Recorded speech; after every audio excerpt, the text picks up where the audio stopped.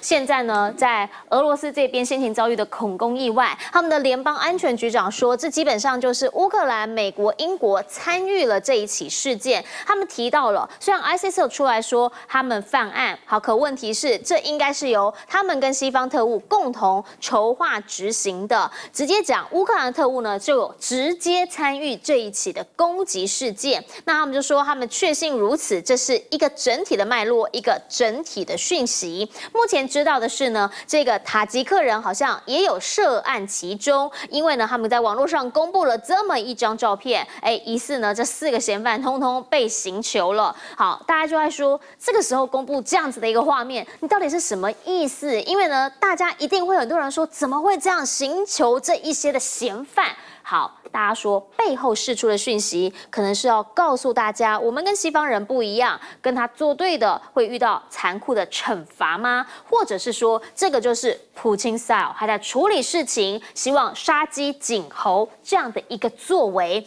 好，现在呢，对于欧盟以及西方盟友来说，他们最直接的就一个信念。就是看起来普京连任成功，看起来他要再次进攻，不能让他赢。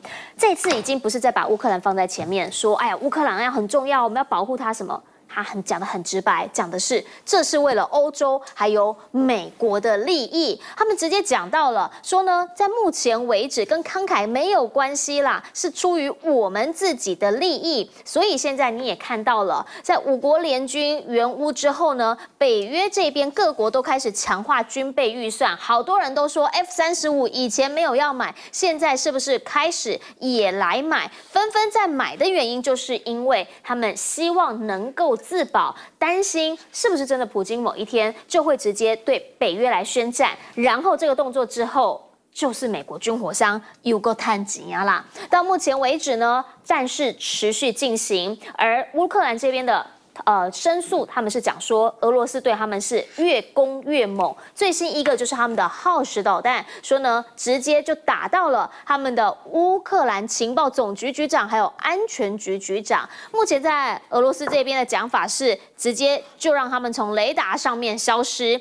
耗时是一个超高音速导弹，过往没有出现在战场上，这一次算是它的实战。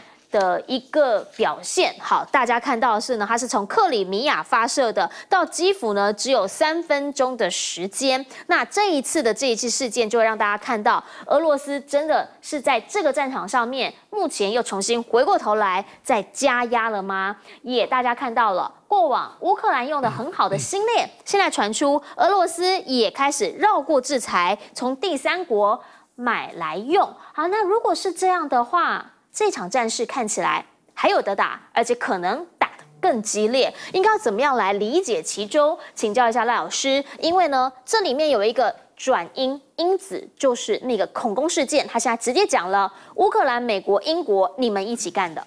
呃，对，对乌克兰来说的话，他目前面对一个艰难的一个处境啊，他必须要想方设法的去理清楚啊，去澄清不是他所干的。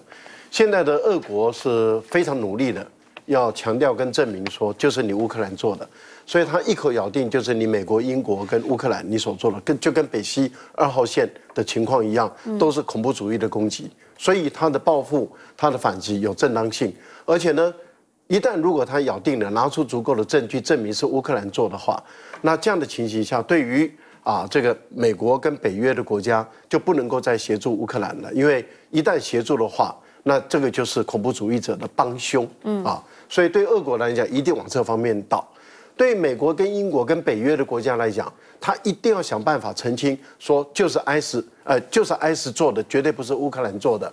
不管你拿出什么证据来，他一定要咬住就是 IS 做的，绝对不是乌克兰，因为不然的话，就是我刚刚所讲的那个情况就会发生。所以我们看到目前来讲，双方都在打认知作战，哦，那问题就在于俄国没有提出。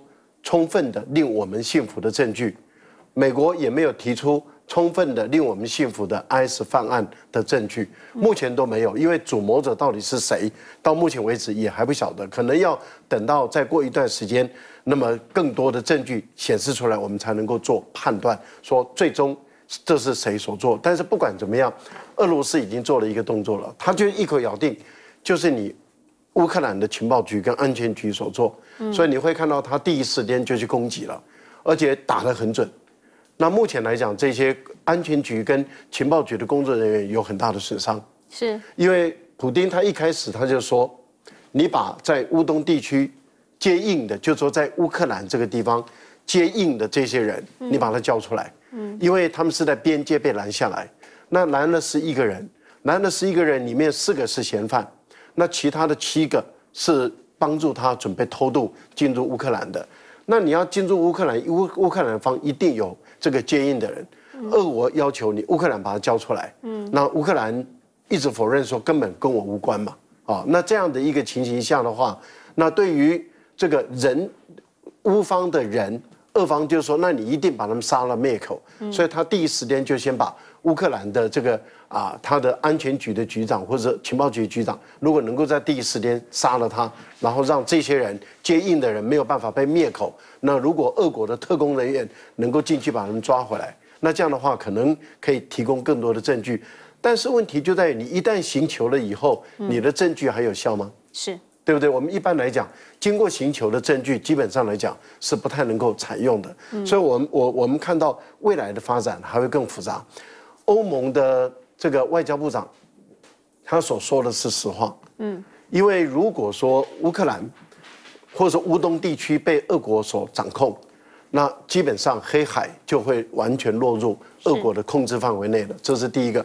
第二个，乌东地区是乌克兰的重工业中心。如果俄国掌控了乌东地区，那俄国的综合国力、跟重工业的能力、跟军火工业的能力会往上走一台阶。嗯。那所以在这个目前的情形下的话，那欧洲跟北约其实是要利用乌克兰去。牵制俄罗斯，嗯，那这个就是符合欧洲人的利益了，所以我们已经完全可以理解，当初就是欧洲人跟北约人。他们去利用乌克兰去搞坏跟俄国的关系，这个就是印证了基辛格跟梅克尔的判断，说你乌克兰如果要保卫你自己的安全跟和平的话，你只能走中立，不能够倒向我们。一倒我们，那整个悲剧就会发生。乌克兰的领导人犯了一个重大的错误，所以带来了乌克兰人。重大的悲剧。嗯，其实现在哈，你看到在俄罗斯俄乌战争的前线，除了说呢，这个锆石它现在用的是超高音速导弹直接放到战场上之外，包括了伊斯坎德尔的短程弹道飞弹，先前也都出现过。而最新一个消息是，哎，就在他们频繁的在发射飞弹导弹的同时呢，发现波兰这边有个将领说，竟然是休假的时间阵亡了啊。地点有可能就在乌克兰地下指挥所。到底现在北约跟乌克兰之间、跟俄罗斯之间彼此的关系是什么？我们先进广告，等等回来继续请专家点评。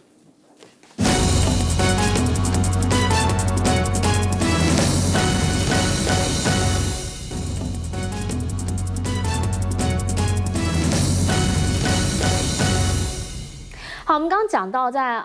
俄罗斯他们现在有非常非常多的动作，在恐攻事件之后，其实他们也开始在定调了。请教一下盛峰委员，是这样子啊？这个现在是信息非常的有限，嗯，所以要现在探知真相啊，是言之过早。是，但是我们来看几个有限的信息透露出来，我们可以来看一些呃值得我们去观察的方向。第一个呢，就是买凶杀人。但是呢，是归给恐攻的人头户啊，IS。现在你不在 IS 是恐攻的人头户，任任何恐攻发生，就 IS 就在这，就是我，就是我，就是我啊，是不是它不重要？那问题就在哪里？就我们看出来是买凶杀人，而不是圣战士。嗯，因为它整个的过程里面，所以显然不会 IS 去买凶杀人，IS 有的是可以杀人的圣战士，所以 IS 是假的。那谁去买的？好，这个第一个问题就值得我们来看了。第二个，呃，你你你觉得那公布那四个人像杀手吗？那我我我觉得人已经落到苏联的手中了，呃，俄罗斯手中。那他公布的这四个看起来不像杀手的，是杀手吗？那会不会在换某一种烟幕，正在掉什么东西出来？因为这四个实在不太，而且他是寻求的给你看。不不是讲我的态度，这里面都是很诡异的啊。那为什么我要这样来讲杀手？这几个人在那么大的场合里面拿着枪是行刑式的开枪。昨天我就提过了，要开枪没有那么简单了。普通人一把枪丢给你，然后对着你这样开枪，你敢吗？你抖都抖死了。所以那个开枪的人跟现在抓到的人是不是同一批人？有没有被调包？假若这四个是真正的凶手，我不认为俄罗斯现在会公布。你你想想，因为它不合逻辑，嗯，它一定不太是。所以呢，这四个人在往路上的过程里面，是不是已经被调包了？所以抓了四个不是的。既然不是了，所以我现在正在布一个什么样的局给大家看呢？来，另外一个信息是塔吉克政府是打死不承认这几个是塔吉克人，而这些人说我是塔吉克人，哎，这个是很奇怪。所以现在你是有限的信息，没有办法得出真相，但是有限的信息都提供我们呢很奇怪的、很奇怪的话，所以这个事情我觉得后面还有的发展，但是可以做一个结论：最倒霉的一定是乌克兰，因为站在俄罗斯的立场，无论如何这一笔账一定要挂在乌克兰的身上，这样才有理由把特别军事行动啊变成为战争。嗯，我们先进广告，广告回来我们要请兵哥帮我们总结。